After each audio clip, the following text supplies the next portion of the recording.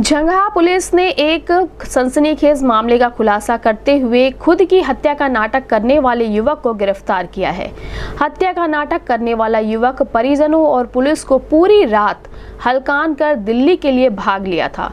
तफ्तीश में लगी पुलिस ने शुक्रवार को उसे घर लौटते समय नई बाज़ार से गिरफ़्तार कर लिया, जिसके संबंध में एसपी नॉर्थ मनोज कुमार अवस्थी ने बताया कि बिलवा गाँव का रहने वाला 28 वर्षीय अमित उर्फ़ सन्नी देवल ने बीते मंगलवार की रात खुद की हत्या होने का नाटक कर अपने मोबाइल से एक फ़ोटो वायरल किया था, जिसे लेकर पुलिस पूरी रात परेशान रही।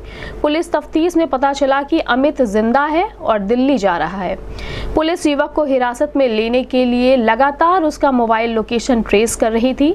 उसका लोकेशन मुंबई रूट पर भोपाल में मिला था। मोबाइल ऑन होते ही पुलिस का दबाव बढ़ता देख अमित अपने घर लौट रहा था कि पुलिस को जानकारी मिली कि वह थाना क्षेत्र के नई बाज़ार पहुँच गया है। इस दौरान थाना अध्यक्ष संजय कुमार मिश्रा ने अपने हमराही उप निरीक्षक विजय यादव व सिपाहियों के साथ अमित को नई बाज़ार से धर दबोचा। उन्होंने बताया कि अमित का अपनी से कुछ अनबन चल रहा था, जिससे पीछा छुड़ाने के लिए उसने यह नाटक किया था।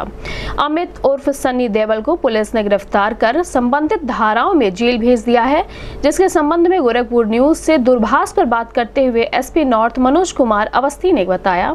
ग्राम तलिपा का एक अमित नाम का व्यक्ति था, जो अपने परिवार से परेशान होकर के चला गया था और उसने अपनी बॉडी पे रंग डाल के और उसको डेड बॉडी जैसा दिखाते हुए एक फ़ोटो अपने साले के फ़ोन पे सेंड किया था।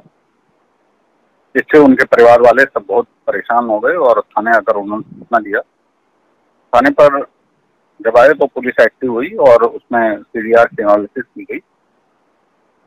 उसके आधार पे उसकी जानकारी मिली और उसको व्हाट्सएप मैसेज किए गए। तो चौबीस घंटे बाद उसने रिप्लाई किया कि वो जीवित है। और जैसे ही उसका फ़ोन ऑन हुआ तो उसकी लोकेशन ट्रेस करके पुलिस ने उसको पकड़ लिया। उसको गिरफ़्तार किया गया है और समुचित धाराओं में उसका चालान किया है।